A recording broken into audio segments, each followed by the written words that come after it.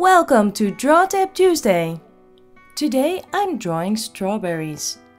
I'm using a red color pencil to make the outline. I will combine this with watercolor paint. For this I need a brush, tissue paper and water. And of course a watercolor set. I loosely color in the lines.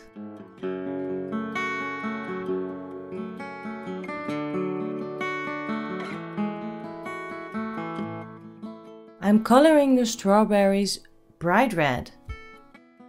But I'm also using the opposite color, green. This is for the shadows.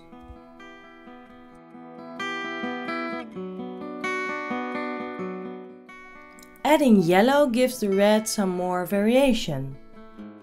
Picking out a bit of the paint, it will give structure and uh, a sense of light.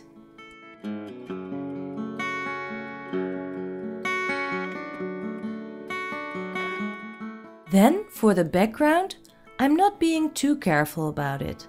This way the colors bleed into each other. I can use this. It creates the sense of light and dark and even reflection. If it's too much, I dab it with a piece of tissue paper. Or I spread it out a bit more with my brush.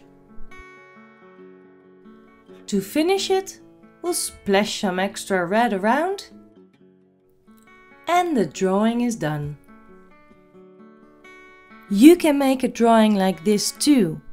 Have a look at my website koosjekoene.nl